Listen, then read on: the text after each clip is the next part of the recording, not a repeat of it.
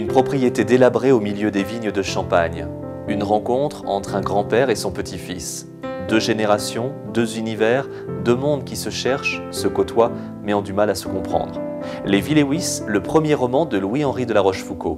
Une belle écriture, une histoire très sensible, un regard différent sur notre société et ses clivages. Les Villewis, par Louis-Henri de la Rochefoucauld, est publié aux éditions Léo Cher. Louis-Henri de la Rochefoucauld est sur Web TV Culture.